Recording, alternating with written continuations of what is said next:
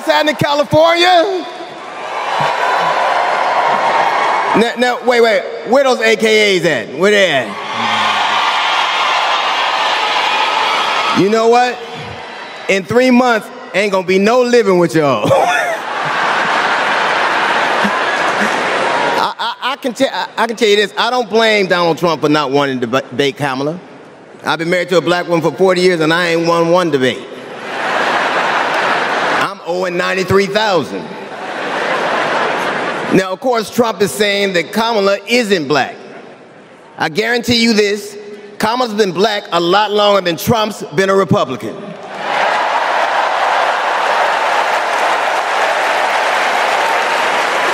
And if he keeps sliding in the polls the way he is, the only thing, the only way he can keep Kamala out of the White House is if he buys it and refuses to rent it to her.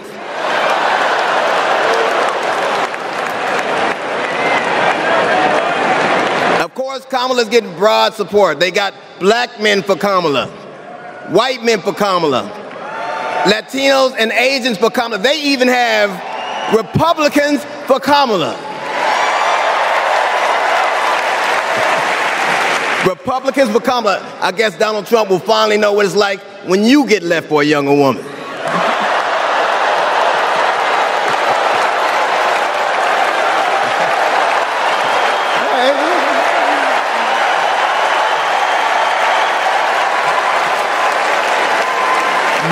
Seriously, Kamala knows the truth about the American dream, that hard work is not alone uh, enough, uh, hard work alone is not enough to succeed, that you need access and information and opportunity.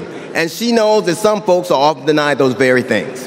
As president, she will give each and every one of us a fair shot in life. But I, but I have to admit, I didn't always believe that. I mean, if you told me the 15 year old me would be on stage supporting a prosecutor and a teacher,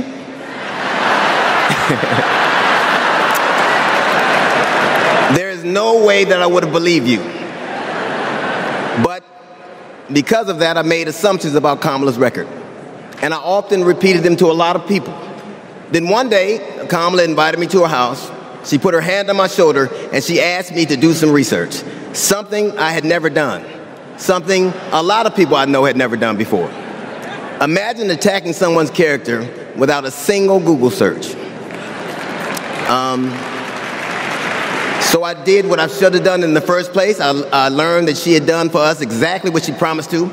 I believe that your apology should be as loud as your accusation, and I'm here apologizing in front of the whole damn world.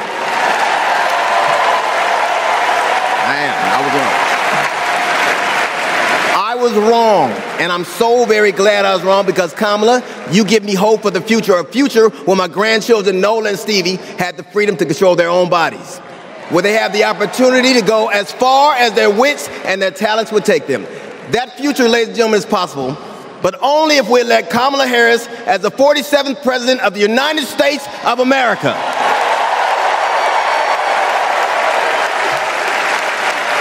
I will say this to you the best piece of advice I've ever gotten in my entire life is you don't have to know what you will do, just know what you want. And we won't go back.